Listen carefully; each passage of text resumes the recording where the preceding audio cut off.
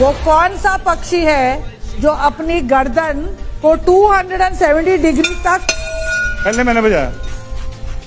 Owl. आपको कुछ बोलना है जानवी? जिराफ। पक्षी।